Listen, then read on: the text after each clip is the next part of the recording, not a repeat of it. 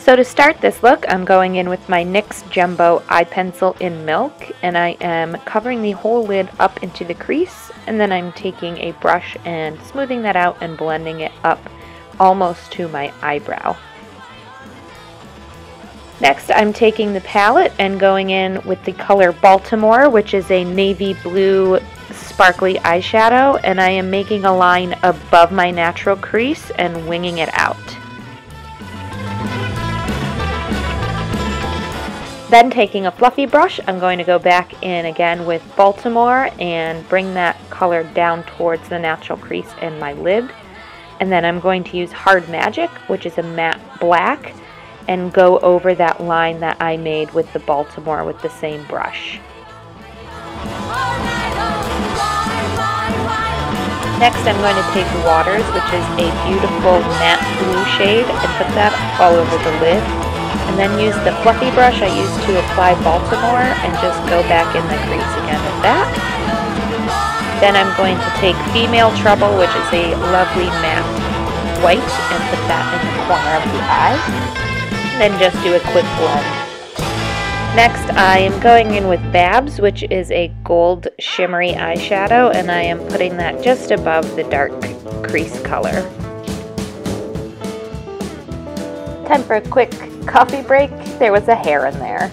Okay, now it's time for eyeliner, and I'm doing a very dramatic wing, more dramatic than I normally do. I'm also running out of liner in this one, and so I had to really scrape the bottle to get what I needed out of it. Um, I'm looking for some recommendations for new black eyeliner, so drop your favorites in the comments down below and let me know what you love to use. Next I'm taking that milk pencil again and going into the waterline, then using a brush to smudge it out a little bit. Then I went in and touched up my eyeliner a little bit on both sides just to make sure they were close to even as possible.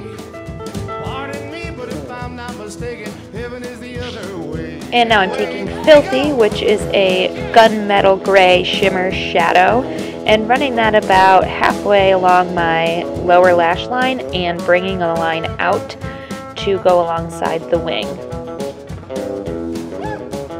Now if I was doing this look properly, I would use false eyelashes, but I didn't have any, so I'm just going in with some regular mascara, uh, the Maybelline Colossal Volume Express in Cat Eyes on the top and bottom lashes. Then I'm taking my Anastasia Beverly Hills Dip Brow Pomade to do my eyebrows, I tried to make them a little more dramatic in shape than usual and drew that outer corner out farther than I normally would um, to take some inspiration from Divine's iconic eyebrows.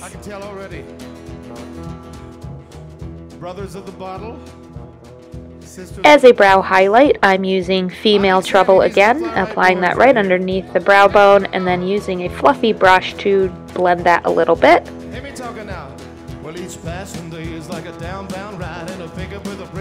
For the lips, I'm using my L'Oreal Color Riche liner in Au Naturel, and I am really overdrawing and overlining my lips for this look. I want it to be very dramatic.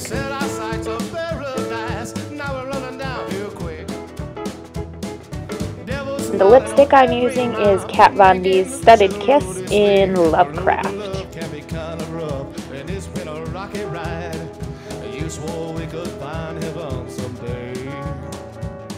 And for the finishing touch, a little mole just above the lip.